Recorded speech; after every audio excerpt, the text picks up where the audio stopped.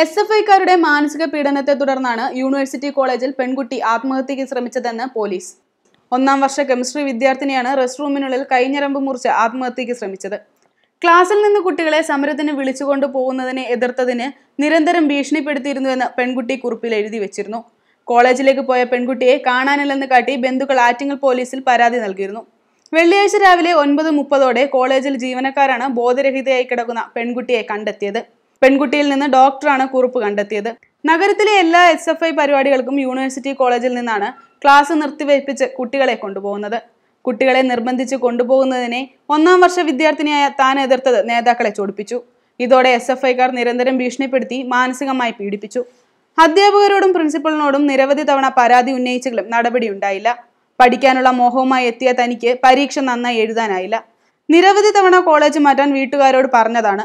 Class നഷ്ടപ്പെടുന്നതിനെതിരെ ആദ്യം എതിർപ്പുന്നയിക്കാൻ ഒപ്പം നിന്നവരും ഭീഷണിയെ തുടർന്ന് പിന്മാറി.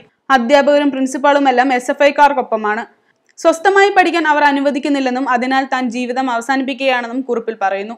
എസ് എഫ് ഐ നേതാക്കളായ ക്ലാസ്സിലെ രണ്ട് പെൺകുട്ടികളുടെയും യൂണിറ്റ് നേതാക്കളായ രണ്ട് ആൺകുട്ടികളുടെയും പേര് കത്തിൽ പരാമർശിച്ചിട്ടുണ്ട്. എസ് എഫ് ഐക്കാരുടെ നിരന്തര ശല്യത്തെ തുടർന്ന് കടുത്ത മാനസിക സംഘർഷത്തിലായിരുന്നു പെൺകുട്ടി. കഴിഞ്ഞ ദിവസം രാവിലെ ലൈബ്രറിയിലെത്തിയ കുട്ടി കൂട്ടുകാരികളുമായി ഫോണിൽ സംസാരിച്ചിരുന്നു. തുടർന്ന് കോളേജിലെ റെസ്റ്റ് റൂമിലെത്തി ഫോൺ സ്വിച്ച് ഓഫ് ചെയ്തു. കോളേജ് അവധിയായതിനാൽ ആരും ശ്രദ്ധിച്ചിരുന്നില്ല. രാത്രിയിൽ കൈഞ്ഞരമ്പ് മുറിക്കുകയായിരുന്നു. അപകടനില തരണം ചെയ്ത കുട്ടി മെഡിക്കൽ കോളേജിൽ ഇപ്പോഴും ചികിത്സയിൽ തുടരുകയാണ്. അതേസമയം ഈ വിഷയത്തിൽ ഉന്നത വിദ്യാഭ്യാസ മന്ത്രി ഇടപെടുകയും കോളേജ് പ്രിൻസിപ്പളിൽ നിന്ന് റിപ്പോർട്ട് തേടുകയും ചെയ്തു. ഇക്കാര്യത്തിൽ എസ് എഫ് ഐ നേതാക്കളിൽ നിന്ന് വിശദീകരണം തേടും. സംഭവത്തിൽ എ ബി വി പി ഈ വിഷയം ഗൗരവമായി കാണുന്നതായും പ്രക്ഷോഭ പരിപാടികളുമായി മുന്നോട്ട് പോകുമെന്നും എ ബി വി പി പ്രവർത്തകർ പ്രതികരിച്ചു. വെബ് ഡെസ്ക് തത്തുമൈ ന്യൂസ്.